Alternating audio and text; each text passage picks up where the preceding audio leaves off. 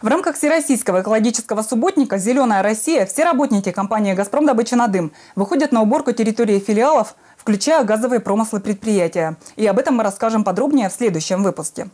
Основная цель экологических соревнований, которые прошли ранее, сделать город и его окрестности чистыми. Их организатором выступило районное управление по делам молодежи и туризму.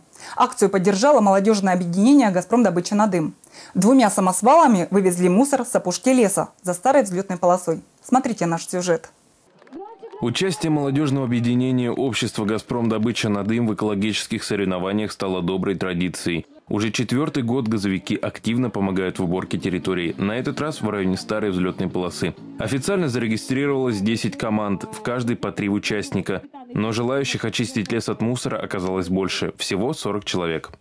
Нас сегодня порадовало то, что есть люди, которые приехали абсолютно даже не заявленные, но они, ну, потому как э, опоздали несколько, да, и когда им сказали, что уже заявки приняты, они э, решили, в общем-то, принимать участие в данной акции совершенно на добровольных началах, э, без всяких либо каких-либо призов и прочее, потому что им действительно захотелось помочь нашему городу стать чистым. Непосредственно этим мероприятием занимается молодежное объединение «Газпром Добыча на дым». Полностью оно и, как бы планировалось и проводится совместно. От нас выступает четыре команды.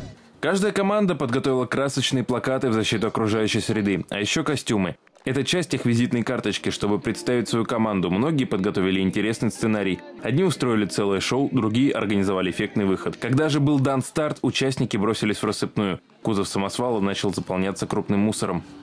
Занимаемся непосредственно сейчас сбором мусора э, по экологической акции. Э, принесли уже порядка, наверное, 12 мешков мусора и большой-большой диван. Мусора оказалось много, от конфетных оберток до брошенной в лесу мебели. Ее здесь предостаточно. Целые и разломные тумбочки, стулья, шкафы. Среди команд не сразу определились лидеры. Даже самая младшая участница соревнований реально оценивала свои шансы на победу. Ну, на первое место нет, просто уже диван тащили. Мне сложно, потому что я меньше, младше, слабее, короче, куча всего. Собрали весь мусор в радиусе полукилометра от места старта. За полчаса до окончания соревнований кузов первого самосвала был заполнен. И вот долгожданный финал. Чтобы никого не обидеть, учредили ряд номинаций. Третье место забрала команда «Лесная братва». Второе заслужили богатыри. Они выделялись блестящими шлемами из фольги. А победили спасатели – команда молодежного объединения «Общество Газпром добыча на дым».